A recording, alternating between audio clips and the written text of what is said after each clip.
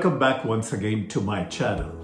As you are all aware, our brains are really good for generating and coming up with various different ideas, but they are not good for holding those ideas. With a never-ending stream of so much of activities happening in your day-to-day life, both at home as well as on the work front, things are bound to slip through the cracks.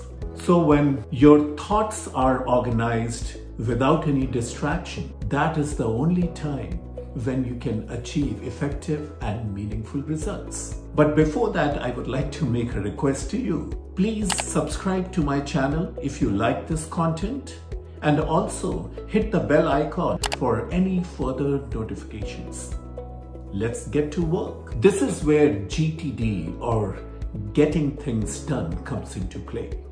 GTD is a framework which assists and helps you in managing your tasks, your to-do list, your projects and various different activities throughout the day, whether it is on the home front or at work.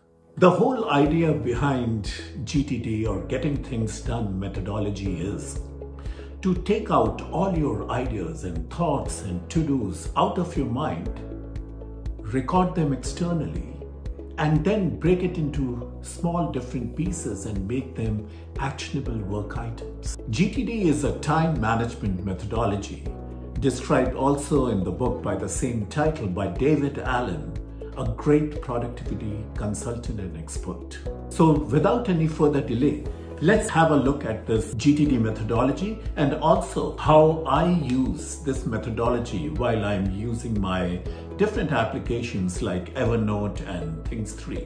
Getting Things Done system is based on five simple steps capture, process, organize, review, and engage. Talking about capture and the GTD methodology, we should be collecting all our tasks, appointments, and ideas in inboxes. Now, these don't have to be physical entries. An inbox can be any organizational system that lets you capture things in writing. That means you can use both digital and analog inboxes, such as your email inbox, Evernote, or OneNote, or maybe a task management app like Things3 or Todoist Task. Second one is the process step. Here, you need to review and process everything you've collected in your inboxes. This means you have to decide where things belong to. Kind of task is it? Is it actionable? What's the next action? So, when reviewing your inboxes, do not put anything back in the inbox. Decide where each item belongs.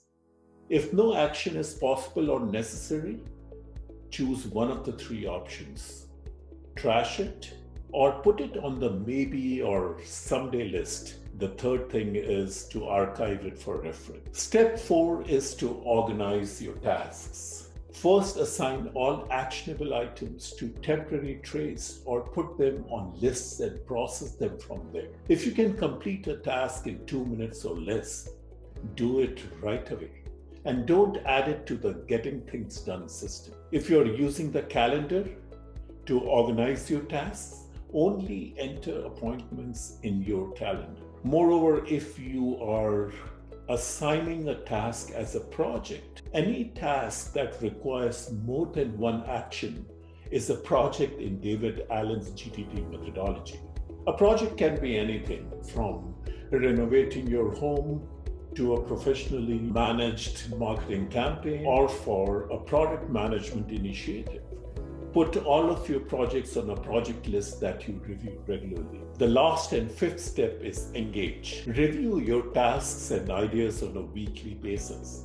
I typically do this every Sunday and takes me about 15 minutes. Then I reassign my tasks based on my energy level, priority, context, and also the time available. Here is a quick glimpse of my workflow which I've customized to my liking and preference based on the GTD methodology. Same steps as defined by David Allen, but I capture everything into my inbox folder in Evernote.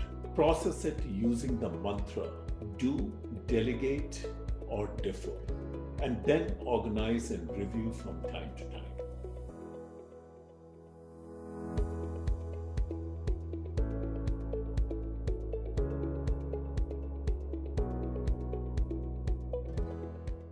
Thanks a lot for your time and hope this was helpful. Please feel free to subscribe to my channel if you like my content and stay tuned until the next one.